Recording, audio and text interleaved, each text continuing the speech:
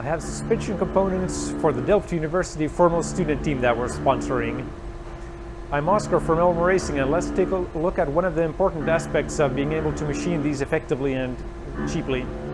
Uh, so we start from a piece of aluminum billet to machine these and this is a super complicated part so we're obviously going to need at least two attachments. First attachment is of course very easy, you just uh, clamp this in the vise and you're good to go. But the second attachment is a little bit more complicated. Of course, one trivial solution would be to uh, clamp it from these uh, suspension uh, bar glue locations, something like that.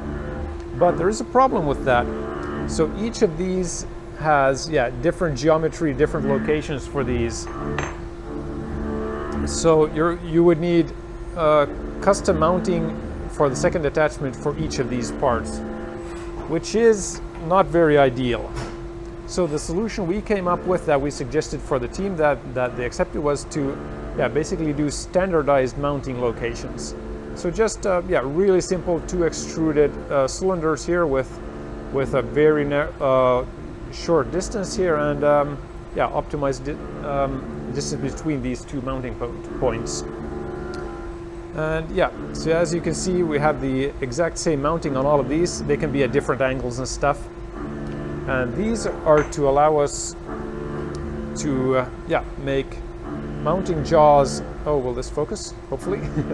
so mounting jaws for this, and now we can just clamp them in a vise with just, uh, yeah, a single pair of jaws for all of these uh, custom components that uh, yeah don't require any retooling in case we need to do some revision or, or, modifications to these.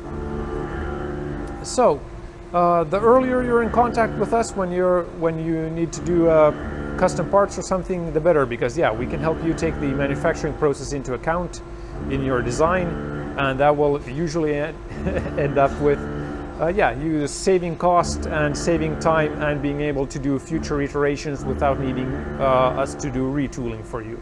So uh, hope this helps you designing your custom parts and see you guys in the next one. Bye.